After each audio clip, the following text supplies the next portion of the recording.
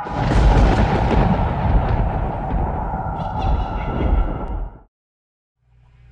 there, fellow fans, and welcome back to another episode of Witchery Explained.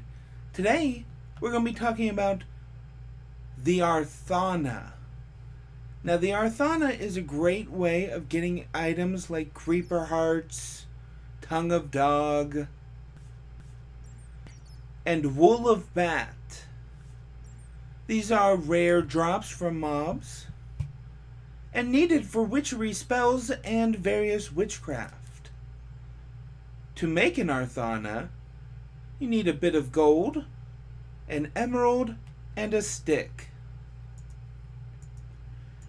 To use an Arthana, though, you have to be killing something and land the final blow with the Arthana. Now, the Arthana does do only 4 attack damage. So you're going to want to do things like add en enchantments like power, sharpness, stuff like that. But what I like to do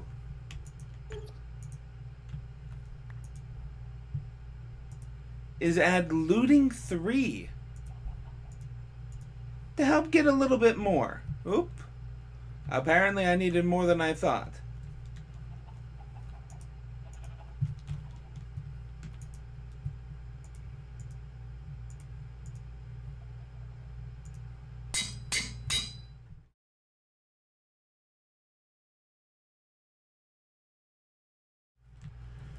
to drop mob items like those ones we mentioned before.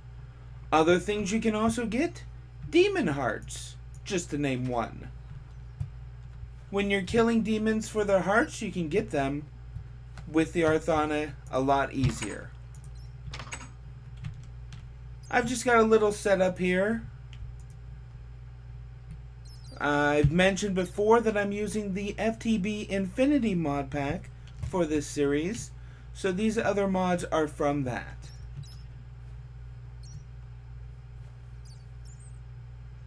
I've got this thing here generating bats for me to kill.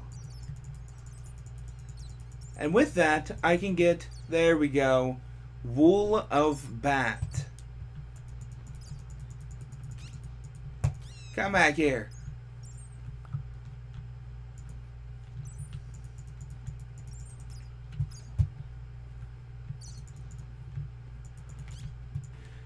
But yeah, if you really don't want to use the Arthana to kill things because it is a bit weak and you don't want to add some enchantments to it,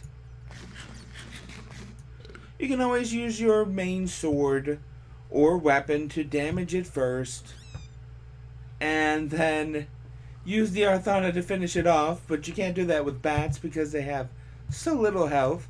But my point has been made. That's the Arthana, really. There are other uses for the Arthana, like on an altar, and for some various spell casting. But those will be covered in a later episode.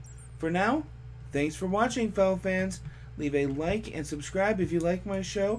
It really helps. It really helps. Thanks again. Bye.